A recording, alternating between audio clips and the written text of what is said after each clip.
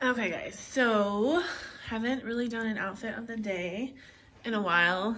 I've had this on for a while. I just got home actually. Um, and my dog, I know in the background. But anyways, so um, this is what I have on. Um, this little jacket thing, it's super thin. Like it looks like a jacket, but it's really, I don't know, it's really thin. But um, I just got it at Walmart. It was on clearance. I think it was like $9, you guys.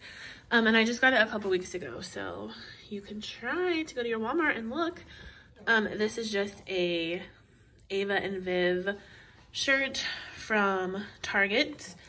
Um, my pants are from Burlington. I got them a while ago though. Um, I'm like 99% sure they are the YMI, the why am I brand. They look a little buddy. Um, and then my boots are from Torrid. I've showed them like a lot, I think. Um, but I got them last year. They don't have them anymore this year. But that is the outfit.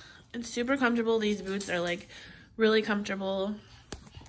Didn't wash my hair today. I just threw it up in a ponytail and put on some makeup, some earrings, my cross necklace. But yeah, I want to start like trying to do like more videos and outfits of the day. So that is what I have on today.